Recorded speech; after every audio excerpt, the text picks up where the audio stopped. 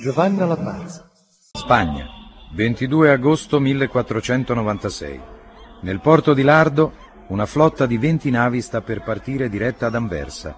Sul molo la regina Isabella di Castiglia saluta la figlia Giovanna, che sta andando in sposa all'arciduca d'Austria Filippo il Bello. Giovanna ha soltanto 17 anni e piange disperata. Madre cara, quando potrò rivedervi? Solo Dio ha la conoscenza di ciò che accadrà. Figlia mia, i tuoi unici doveri ora sono verso Filippo, la Borgogna e le Fiandre. Ma se non lo amassi? Se non potessi sopportare la sua vicinanza? Questo non conta. Non ti è concesso prendere iniziative, farti testa tua. La giovane abbraccia la madre, ma quelle parole risuonano ancora nella sua mente e rassegnata va incontro al proprio destino. Giovanna è nata a Toledo il 6 novembre 1479 da Isabella di Castiglia e Ferdinando d'Aragona. Sin dalla prima infanzia la madre le ha impartito un'educazione dura e autoritaria che l'infanta sembra non voler accettare. Già verso i 14 anni si rifiuta di presenziare alle cerimonie pubbliche e preferisce la compagnia delle ancelle moresche, da cui impara a decifrare la cabala, ad ascoltare le storie d'amore e d'avventura di dame e cavalieri. Spesso viene trovata in ginocchio sul pavimento, a piedi nudi, con indosso soltanto la camicia, immersa in pensieri segreti, di cui nessuno indovinerà mai la natura. Sin da bambina Giovanna si sottopone di propria volontà a pesanti digiuni, meditazioni, atti di carità. Sotto gli abiti porta delle croci e perfino il cilicio. Nonostante questo suo fervore mistico, non riesce a sopportare la religiosità della corte di Spagna, che riunisce attorno a sé un clero bigotto e inquisitore. Così infatti si sfoga con il suo precettore. Non posso sopportare che mi siano vietati i balli, che si indaghi sulla profondità delle mie scollature, sullo sfavillio dei miei gioielli, mentre i peccati più terribili vengono lavati via con una semplice confessione. I genitori, comunque, hanno già deciso il suo destino, che sarà quello di sposa dell'arciduca d'Austria Filippo, figlio di Massimiliano d'Asburgo. Il matrimonio dovrebbe peraltro evitare l'isolamento politico della Spagna e cementare un sistema di alleanze contro la Francia. Dopo quasi un mese di navigazione, le navi spagnole entrano nel porto di Anversa. Giovanna è attesa con ansia dal popolo, ma il primo impatto con lei non è affatto buono. È inaudito. Una principessa, una futura regina vestita come una contadina, con quegli abiti orribili, così pesanti, così antiquati. Manca di ogni grazia. Sembra una dama di compagnia. Ma cosa dico? Una sguattera. No, no, non è certo adatta al nostro bel Filippo. Filippo d'Asburgo è un bel giovane prestante, con meravigliosi capelli biondi ed occhi celesti. Ha anche la fama di essere un donnaiolo.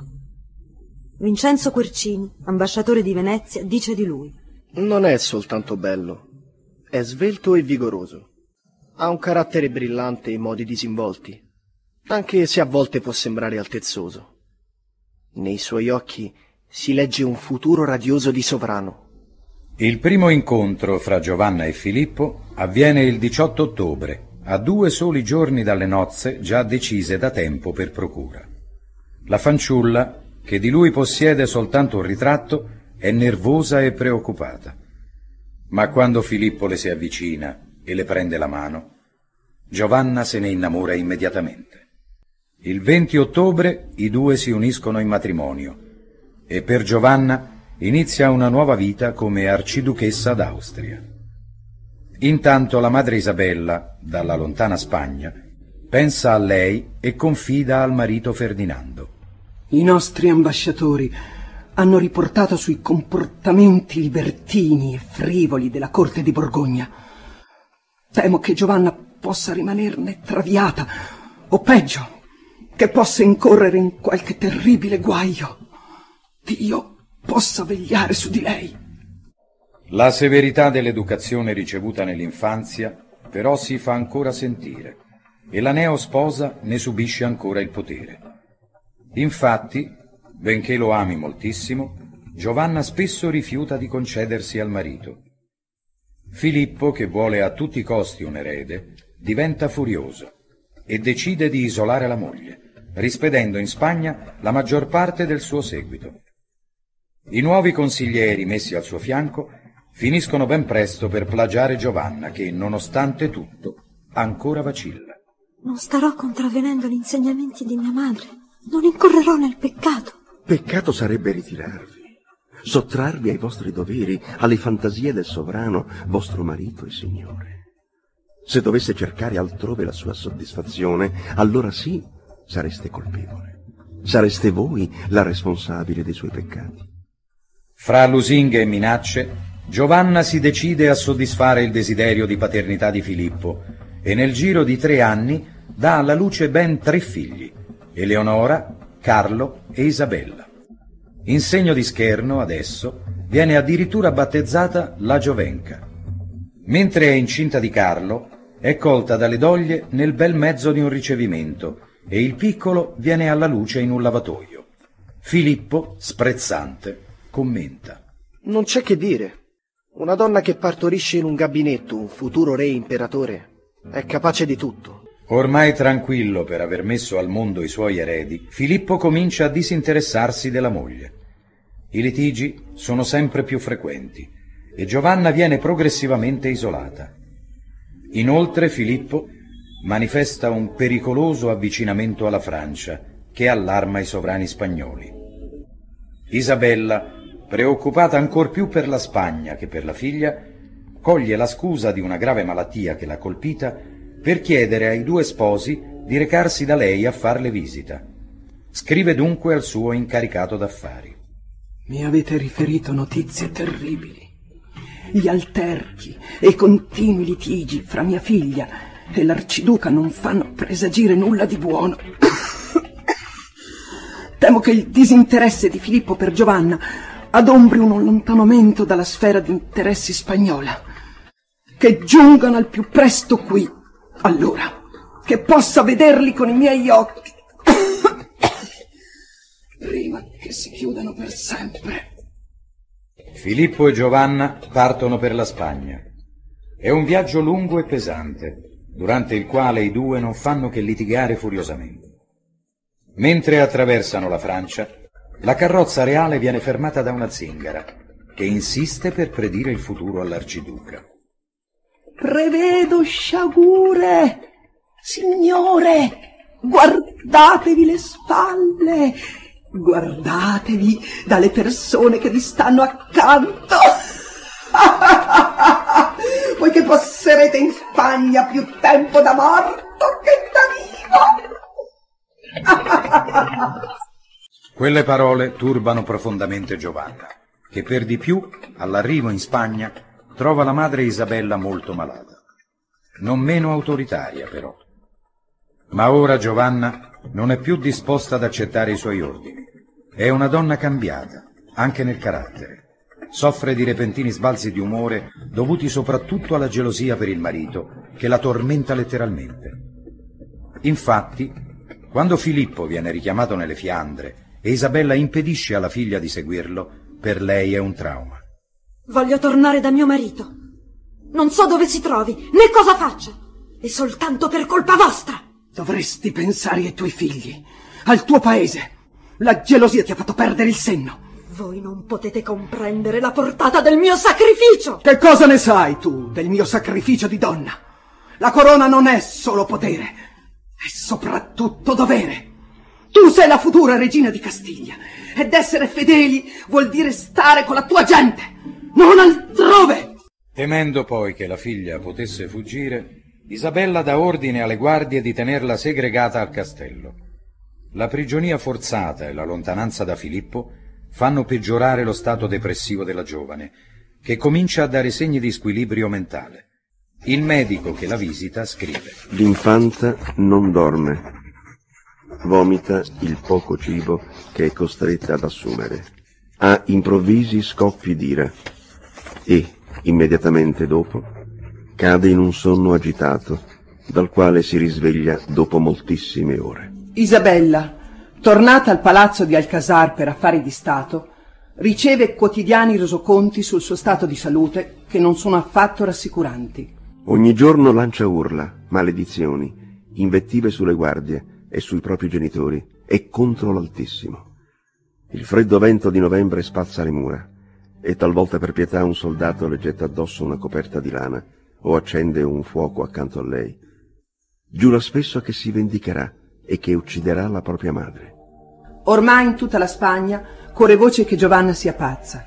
Isabella, ormai stanca e affaticata, si reca dalla figlia e riesce a fatica a riportarla alla ragione, fin quando giunge una lettera d'Anversa, in cui Filippo chiede a gran voce il ritorno di Giovanna. Una volta ricongiuntasi all'amato marito, tutto sembra tornare alla normalità, ma è soltanto la quiete prima della tempesta. Infatti. Una volta tornata a Bruxelles, Giovanna viene a conoscenza dei tradimenti del marito e prende a inveire contro Filippo come una furia, minacciando di ucciderlo. Scoperta l'identità di una sua amante, tenta di sfigurarla con un pugnale, ma viene fermata in tempo. Il tuo modo d'agire è motivo di scandalo perpetuo. Perché hai agito così? Perché odio tutto quello che si frappone fra il tuo corpo e il mio. Anche la sola aria. Sono Giovanna di Castiglia e l'arciduchessa di Borgogna. Ma voglio essere anche tua moglie, la tua donna e la tua sgualdrina. Chiunque cerchi di impedirmelo dovrà prima passare sul mio cadavere. Filippo, preoccupato, Affida i figli a una dama di compagnia e li allontana dal castello, poiché teme che, non sazia, la madre potrebbe rivolgere la sua furia anche contro di loro. Intanto, il 26 novembre 1504, muore la regina Isabella. Nel suo testamento Giovanna è indicata come l'erede al trono. Filippo assapora già la corona di Castiglia, ma una clausola contenuta nell'atto lo inquieta terribilmente. In assenza di mia figlia Giovanna, o di fronte a qualsiasi impedimento che potrebbe pregiudicare la sua ascesa al trono e la giusta amministrazione del regno, la reggenza spetterà a mio marito Ferdinando II d'Aragona. Avanzando l'ipotesi della follia di Giovanna, Ferdinando potrebbe impugnare il testamento e diventare re di Castiglia al posto di Filippo. Invece, inspiegabilmente, Ferdinando si fa da parte e stipula un accordo con il genero, un accordo che esclude Giovanna dalla successione al trono. Dichiaro che la Serenissima Regina, nostra moglie, in nessun modo si vuole occupare né intendere di nessun genere di governo, né altro. E che anche se volesse farlo, date le sue malattie e passioni, che qui non vengono menzionate per correttezza, questo significherebbe la totale distruzione e perdita di questi regni. Con la benedizione di Ferdinando, Filippo è quindi a tutti gli effetti il nuovo re di Castiglia. Ma la tragedia incombe. Il sovrano lamenta una continua stanchezza e la febbre non lo abbandona mai. Il medico che lo visita individua degli strani rigonfiamenti all'altezza del collo. Giovanna, terrorizzata, Sembra ritrovare le forze e cura personalmente il marito con salassi e medicine. Ma è tutto inutile. Il 25 settembre 1506, sotto gli occhi della moglie, Filippo il Bello muore. Io ho bisogno di lui come dell'aria che respiro. Il mio signore è giovane, ha solo 28 anni. Perché Dio mi fa questo? Maestà, la consola un consigliere di corte. Comprendiamo il vostro dolore. La perdita del re rattrista tutti noi. Ma abbiamo bisogno della vostra presenza. Dovete farvi forza. La Castiglia ha perduto il suo re. Ora più che mai ha bisogno della sua regina. Ma a Giovanna non importa nulla del regno. Mentre cresce il sospetto che Filippo sia stato avvelenato da Ferdinando, la giovane vedova non abbandona neppure per un istante il cadavere del marito. Così scrive un cronista olandese. Dopo essere rimasta lì per tutto il tempo del funerale, chiamò le guardie e fece tirare su il feretro. Lo fece aprire e strappò il sudario che avvolgeva il corpo del cadavere del marito. Fatto ciò, si mise a baciare i piedi di Filippo. Rimase lì per molto tempo, finché non si dovette trascinarla a forza. La perdita è il colpo di grazia per Giovanna, che sprofonda in un'oscurità mentale dalla quale non si riprenderà mai più. Ogni giorno si reca nel sepolcro del marito e ne bacia le spoglie, alimentando le voci sulla sua follia. Era posseduta dall'idea che il corpo di suo marito fosse stato stregato da donne malvagie e invidiose, che la sua morte fosse solo apparente, ed era sicura che nel giro di poco tempo sarebbe ritornato in vita. Il padre Ferdinando approfitta della situazione per farla interdire e la rinchiude nella fortezza di Tordesillas, dove è sorvegliata ad ogni passo da dodici guardie. E soprattutto da Luis Monsen Ferrer, malvagio consigliere di Ferdinando. Spesso la poverina restava là, gli occhi spenti, le mani tremanti, e si dondolava senza tregua, senza pronunciare una sola parola. Altre volte si risvegliava e chiamava a gran voce il nome del marito, strappandosi i capelli, graffiandosi il viso. In quel momento arrivava Ferrer e ordinava che venisse sottoposta alla tortura della corda. Oppure restava solo con lei, e nessuno osava chiedere a quali atrocità sottoponesse la poveretta. Finestre sbarrate, nessuna visita, solitudine forzata. Queste le condizioni di vita della povera Giovanna. Neppure il figlio Carlo, ormai divenuto imperatore, prova affetto per lei. Si dice addirittura che se ne vergognasse. Rimosso Ferrer dall'incarico, questi affida la fortezza di Tordesillas a Denia Duca, un uomo di sua fiducia che tutti chiamano il Marchese Terribile. In una lettera Duca scrive a Carlo V. Se vostra maestà ordina che sua altezza venga trattata con riguardo, agisce come un buon figlio e fa davvero ciò che è utile assicurando che nulla le farebbe bene quanto la tortura. Intanto, negli ultimi anni che la separano dalla morte, la salute fisica di Giovanna peggiora progressivamente e la malattia la divora sino a devastarla nel corpo e nello spirito. Un frate domenicano, Francesco Borgia, è l'unico conforto in tanto dolore. Aprite il vostro cuore alla confessione, donna Giovanna, Solo così troverete quella pace che da anni ormai vi negate. Che peccati volete che abbia commesso, padre? Sono solo una povera donna che soffre. E poi sono circondata da streghe e diavoli impenitenti che mi torturano, mi maltrattano, mi impediscono di parlare con Gesù e sporcano l'acqua benedetta ai piedi del mio letto. Fatevi forza, figliolo. Dio attende soltanto un gesto d'amore verso di Lui. E io attendo un gesto d'amore verso di me, la morte, l'unico che possa alleviare le mie sofferenze, in modo che io possa tornare accanto al mio amato Filippo. Le sue preghiere vengono esaudite. Nel gennaio del 1555, dopo 46 anni passati alla Tordesillas, fra torture, soprusi, e violenze di ogni genere. Giovanna di Castiglia muore. Nel 1574 le spoglie della sfortunata regina furono trasportate a Granada e da allora riposano accanto a quelle del suo adorato Filippo, l'uomo che l'aveva condotta alla follia e che lei non aveva mai cessato di amare. Buonasera a tutti da Antonella Ferrera. Questa sera per parlare di Giovanna la Pazza abbiamo in collegamento telefonico il professor Vittorino Andreoli. Buonasera professore. Buonasera.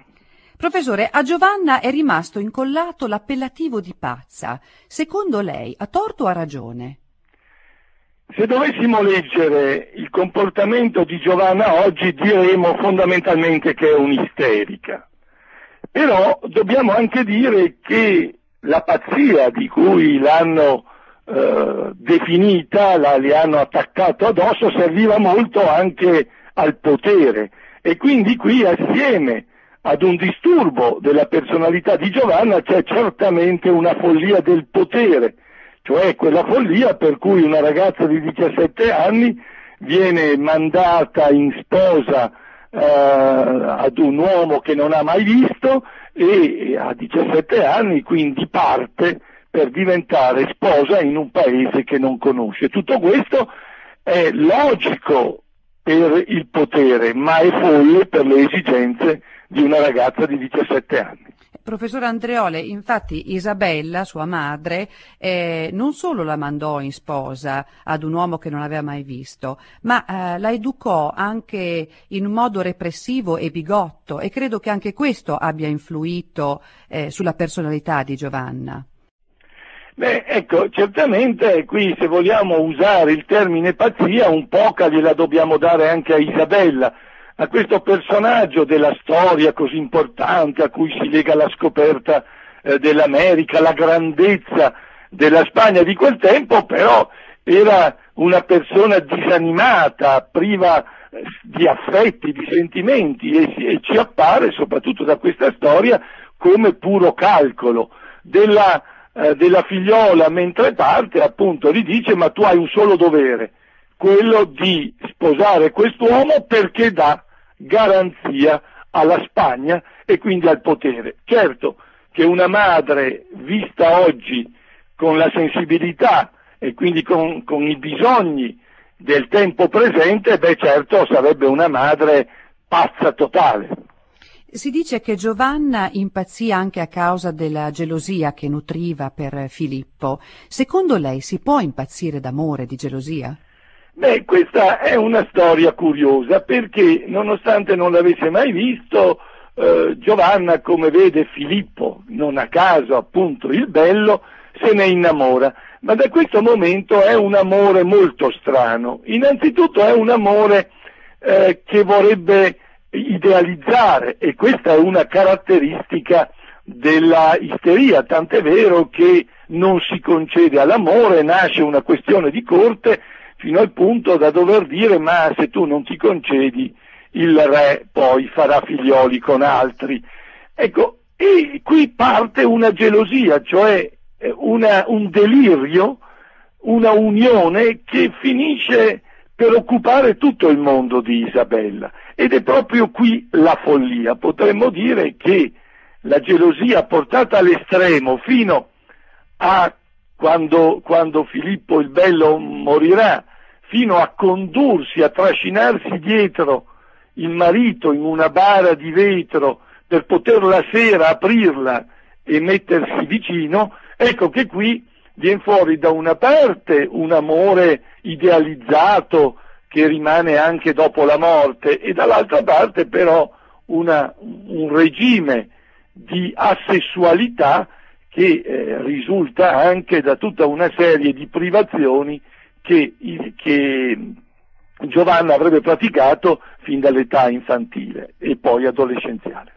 Giovanna arrivò addirittura di autoinfliggersi delle pene corporali, cioè tutto questo fa parte della follia, sì. di un integralismo religioso o si può spiegare diversamente? No, ecco, un'altra delle caratteristiche per cui oggi noi parleremo di isteria è proprio della caratteristica principale, è la resistenza al dolore, ma non solo al dolore fisico per cui portava il cilicio eh, durante l'adolescenza, poi veniva eh, frustrata, ma insomma è stata per 45 anni segregata nella torre di Tordesillas dove ha subito di tutto. E certamente avevano la volontà di farla morire, ma non ci sono riusciti, quindi la caratteristica principale che è proprio della isteria è quella che si chiama appunto la insensibilità al dolore, una specie di anestesia. Il matrimonio eh, fra Giovanna e Filippo il Bello eh, fu deciso a tavolino e le cose andarono come andarono, ma oggi, nell'assoluta libertà di decidere conquistare e quanto tempo starci, perché accadono ancora certe cose? Beh, diciamo che, eh, che oggi non c'è più progetto, né progetto individuale sovente né certo progetto dinastico, nemmeno credo più ormai nelle grandi dinastie, eh, però oggi senza progetto il matrimonio si consuma con una rapidità che ormai porta a rottura dopo pochi anni, dopo sette anni sono ormai circa il 40% le relazioni che si rompono. Ma eh, potendo decidere di separarsi, di divorziare, come mai succedono ancora dei fatti così violenti legati a, proprio a, a dei rapporti consumati? Beh, perché c'è la gelosia. Vede, spesso i matrimoni si rompono per disaccordo, diciamo perché le cose sono regolate dall'odio, ma non ci si rende conto che l'odio è un legame fortissimo, perché è parte della medaglia dell'amore e quindi rompere un legame d'odio anche con tutti i tribunali che si vogliono e gli intermediatori possibili è sempre estremamente difficile. In altre parole, è più difficile rompere un legame di odio che non stabilire un legame d'amore. Professor Andreoli, grazie per il suo prezioso contributo. Io ringrazio anche i nostri ascoltatori per aver scelto la nostra compagnia.